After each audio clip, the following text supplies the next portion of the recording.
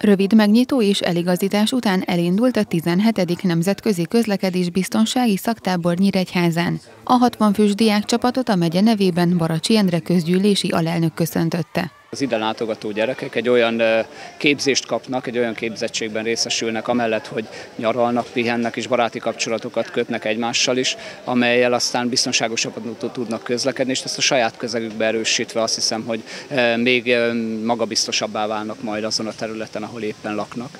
A másik pedig az, hogy valóban ez egy nemzetközi tábor, és ez külön jelentőséggel bír, hiszen egymástól is tudnak olyan tapasztalatokat szerezni, amely azt hiszem, hogy a való életben ez mindenképpen fontos lehet, és a másik pedig az, hogy itt azért közvetlenül találkozhatnak olyan gyerekekkel is, akik én úgy gondolom, hogy rengeteg olyan pozitív tapasztalat, tapasztalást vihetnek haza, amely ők is sokkal előrébb lesznek majd.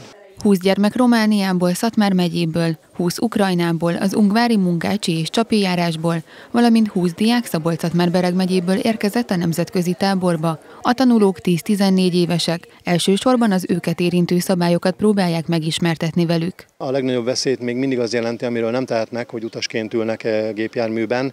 Itt nagyon fontos, hogy ők már azért életkorukból kifolyólag maguktól községbe a használják a biztonsági berendezést, berendezéseket a gépjárműben. Nagyon fontos megemlítenünk a kerékpáros és gyalogos közlekedést, hiszen zömében ők így közlekednek. Kerékpára talán ritkábban, de gyalogosan mindenképpen, és nagyon fontos, hogy betartsák itt azokat a szabályokat, amit a Kressz előír, hiszen még otthon sem jó balesetet szenvedni, nem hogy egy idegen országban. A résztvevő magyar gyermekek számára az egyhetes tábor jutalom egy korábbi közlekedésbiztonsági verseny nyertek meg. A határon túli diákok is nagy örömmel érkeztek. A román és ukrán rendőrök is jó kezdeményezésnek tartják a közös táborozást. Nagyon sok éven által együttműködött a román rendőrség a magyar rendőrséggel, és most az, hogy a gyerekek is találkozhatnak, és együtt tölthetik az egy hét vakációt, ez nekük, nekük is, és nekünk is nagyon fontos, mert